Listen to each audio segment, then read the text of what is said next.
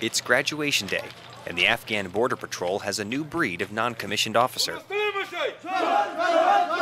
Uh, we wanted the students to build up the confidence within themselves that they could lead or plan and conduct patrols without any officer supervision. Uh, what we wanted them to do is essentially become leaders. This battalion had only one NCO prior to the development course.